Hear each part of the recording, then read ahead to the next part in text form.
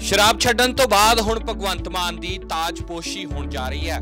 ਜੀ ਹਾਂ, ਤੁਸੀਂ ਠੀਕ ਸੁਣਿਆ ਆਮ ਆਦਮੀ ਪਾਰਟੀ ਨੇ ਭਗਵੰਤ ਮਾਨ ਨੂੰ ਸ਼ਰਾਬ ਛੱਡਣ ਦੇ ਫੈਸਲੇ ਤੋਂ ਬਾਅਦ ਹੁਣ ਇੱਕ ਵੱਡੀ ਜ਼ਿੰਮੇਵਾਰੀ ਦੇਣ ਦਾ ਫੈਸਲਾ ਕੀਤਾ ਹੈ। ਭਗਵੰਤ ਮਾਨ ਇੱਕ ਵਾਰ ਫਿਰ ਤੋਂ ਆਮ ਆਦਮੀ ਪਾਰਟੀ ਪੰਜਾਬ ਦੇ ਪ੍ਰਧਾਨ ਲਗਾਏ ਜਾ ਰਹੇ ਨੇ।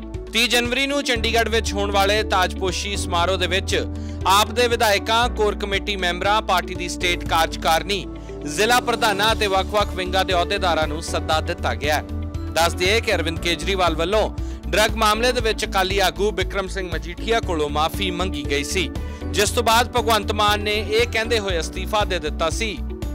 ਜਿਸ ਤੋਂ ਬਾਅਦ ਭਗਵੰਤ ਮਾਨ ਨੇ ਇਹ ਕਹਿੰਦੇ ਹੋਏ ਅਸਤੀਫਾ ਦੇ ਦਿੱਤਾ ਸੀ ਕਿ ਕੇਜਰੀਵਾਲ ਵੱਲੋਂ ਮੰਗੀ ਮਾਫੀ ਕਾਰਨ ਉਹਨਾਂ ਦੇ ਮਨ ਨੂੰ ਡੂੰਗੀ ਸੱਟ ਵੱਜੀ ਹੈ, ਪਰ ਪਾਰਟੀ ਨੇ ਉਹਨਾਂ ਦਾ ਅਸਤੀਫਾ ਮਨਜ਼ੂਰ ਨਹੀਂ ਕੀਤਾ ਸੀ।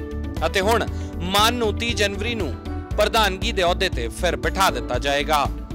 ਜ਼ਿਕਰਯੋਗ ਹੈ ਕਿ ਪਿਛਲੇ ਹਫ਼ਤੇ ਪਾਰਟੀ ਦੀ ਕੋਰ ਕਮੇਟੀ ਨੇ ਮਤਾ ਪਾਸ ਕਰਕੇ ਭਗਵੰਤ ਮਾਨ ਦਾ ਅਸਤੀਫਾ ਰੱਦ ਕਰਨ ਦੀ ਮੰਗ ਵੀ ਕੀਤੀ ਸੀ।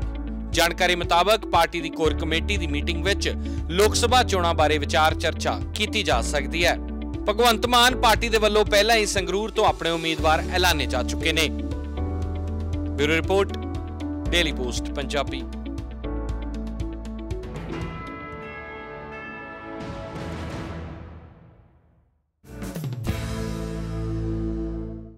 ਕੀ ਤੁਸੀਂ ਵੀ ਵਿਦੇਸ਼ ਵਿੱਚ ਆਪਣਾ ਭਵਿੱਖ ਬਣਾਉਣਾ ਚਾਹੁੰਦੇ ਹੋ, ਪਾਓ ਵਿਦੇਸ਼ ਵਿੱਚ ਪੜ੍ਹਾਈ ਕਰਨ ਦਾ ਮੌਕਾ, ਪਿਰਾਮਿਡ ਈ ਸਰਵਿਸ ਦੀ ਸਲਾਹ ਨਾਲ। ਭਾਰਤ ਅਤੇ ਪੰਜਾਬ ਸਰਕਾਰ ਤੋਂ ਮਾਨਤਾ ਪ੍ਰਾਪਤ। ਪਰ ਕਰੋ 93978 93978